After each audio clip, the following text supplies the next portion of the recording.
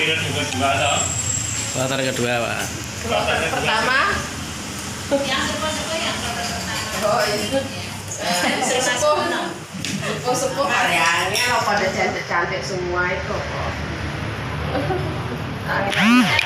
Ya. Kita bisa sehat ya. Merah. Merah Saya di sini itu. oh saya bisa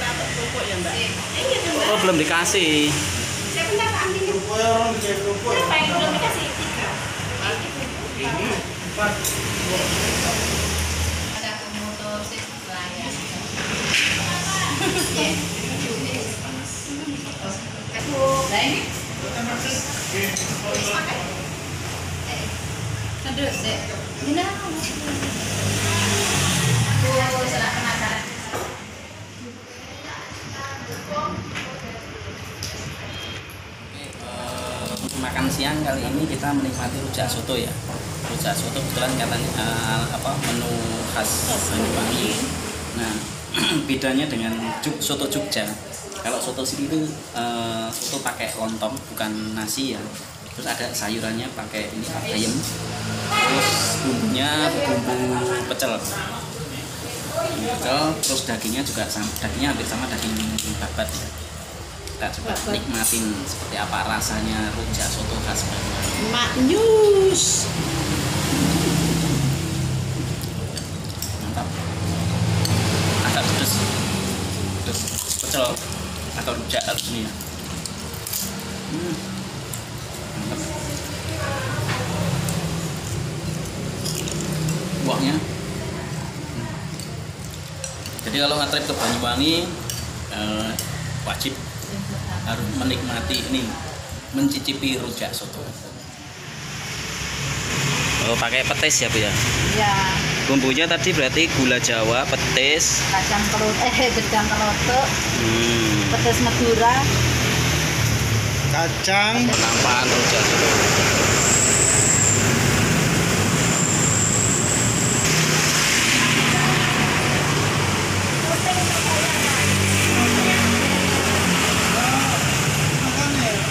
Oke.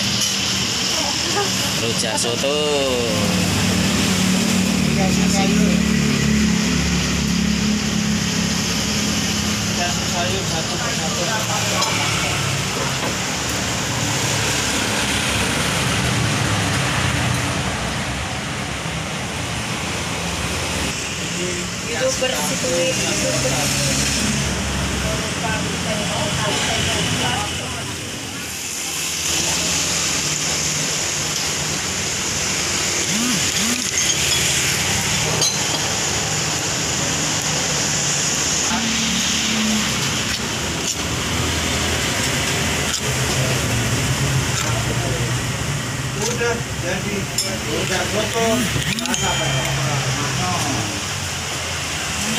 mantap. Oh, kayak gini ya, Bu ya? ya Duh, segede. mantap Kasih kuah soto. babatnya Hmm. cingur kalau bahasa aja anu. kalau Banyuwangi babat kalau Surabaya cingur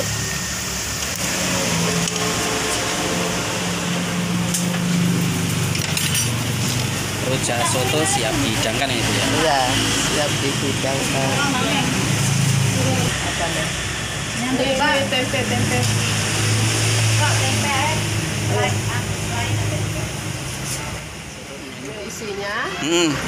Sayur-sayuran, Ah. lontong, terus tahu tempe dengan bumbunya ada itu apa pisang kelotok, kacang, lontong. Kalau rasa rasa apa umumnya rujak soto apa? Ah, gurih atau seperti apa? manis-manis pedas. Manis-manis pedes Ya, ya. manis-manis pedas. Satu porsi berapa sih, Bu? Rujak soto? 15.000 ya. Cukup murah ya, Bu ya. Oke. Monggo Bu kalau mau ngeracik. Bumbu rujak soto. Uh, pakai pisang kluthuk ya. Telur, sedang bu. Ya. Lima enam ada yang tidak pedas itu ya